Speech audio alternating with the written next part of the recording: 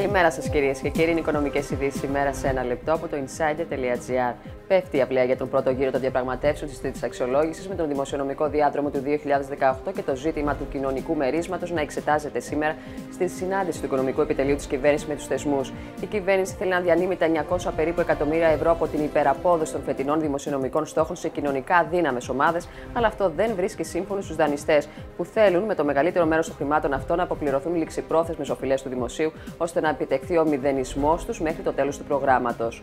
Ξεκίνησε η αντίστροφη μέτρηση για την πώληση σε φαν των δανείων που είναι συνδεδεμένα με την πρώτη κατοικία και έχουν αντικειμενική αξία 140.000 ευρώ, καθώς από την 1η Ιανουαρίου 2018 λίγη η περίοδος προστασίας που είχε συμφωνηθεί μεταξύ κυβέρνησης και θεσμών την άνοιξη του 2016.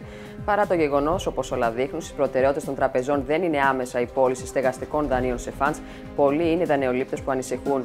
Παράγοντες της κυβέρνησης δείχνουν καθησυχαστική, τονίζοντας πως η ελληνική πλευρά θέλει και θα επιδιώξει την παράταση της προστασίας, ακόμα και αν απαιτηθεί περαιτέρω αυστηροποίηση των κριτηρίων του νόμου. Με ταχύς ρυθμούς προχωράει η επέκταση της αλυσίδας σούπερ μάρκετ Βερόπουλο στα Βαλκάνια. Μετά την εγκατάλειψη της ελληνικής αγοράς, η Βερόπουλο, σε συνεργασία με τα Τζάμπο, έχει κάνει δυναμικό άνοιγμα σε γειτονικές χώρες.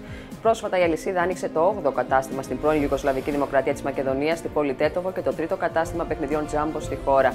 Το business plan του Νίκου Βερόπουλου με την Τζάμπο είναι η από κοινού ανάπτυξη 17 νέων καταστημάτων μέσα από ένα επενδυτικό πρόγραμμα συνολικού προπολογισμού 50 εκατομμυρίων ευρώ. Ανωδικά κινείται η χρηματιστηριακή αγορά στο σημερινό άνοιγμα της συνεδρία με τον γενικό δείκτη τιμών να σε 742,87 μονάδες, καταγράφοντα κέρδη 0,42% σε άνοδο και τα ευρωπαϊκά χρηματιστήρια. Για περισσότερες ειδήσεις στο insider.gr.